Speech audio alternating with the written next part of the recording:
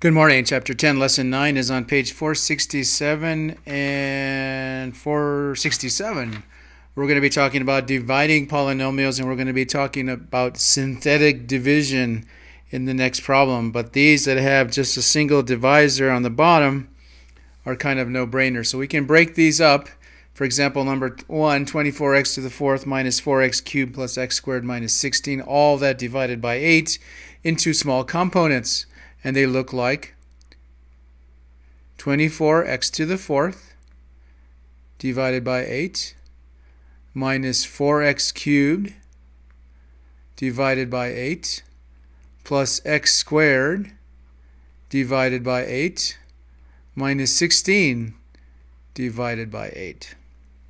So if we simplify this, we end up with 3x to the fourth minus 1 half x cubed plus x squared divided by 8, or 1 eighth, that's the same thing, minus 2. So there's our answer, nice and simple, not so bad for this one. 3x to the fourth minus a half x cubed plus x squared divided by 8, or 1 eighth x squared minus 2.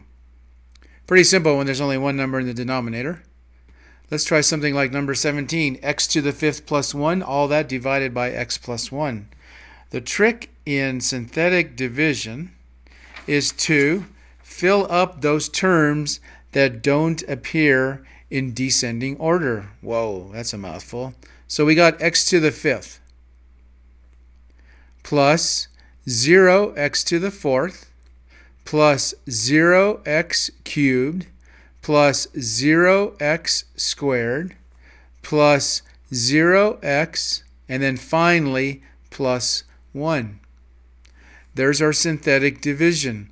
We're faking the polynomial out by filling in things that have zero terms in there. We got a fifth, we got a fourth, a third, a second, and a first for our exponents. So we do this, this takes practice, just like we used to do the old-fashioned way of division. Just follow me along. x to the fourth. Let me move this out of the way.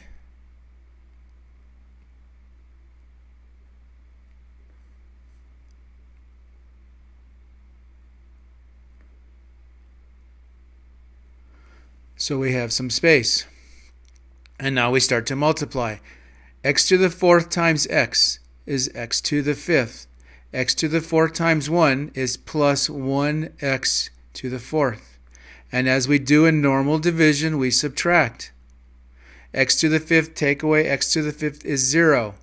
0x to the fourth take away 1x to the fourth is negative 1x to the fourth. Now how do we get a negative 1x to the fourth? Well, we better multiply it by a 1x cubed with a negative sign. So we end up with negative 1, and we should bring down our 0x cubed. So we end up with negative 1x cubed times x is negative 1x to the fourth. And negative 1x cubed times 1 is negative 1x cubed, and hopefully you're starting to see the pattern. We subtract x to the a negative x to the fourth take away a negative x to the fourth is 0. 0x cubed take away a negative 1x cubed is a positive 1x cubed. We bring down our 0x squared. Well, how are we going to get an x squared with an x? Well, we better multiply it times 1x squared. So 1x squared times x is 1x cubed. Hope I have enough room. 1x squared times 1 is plus 1x squared.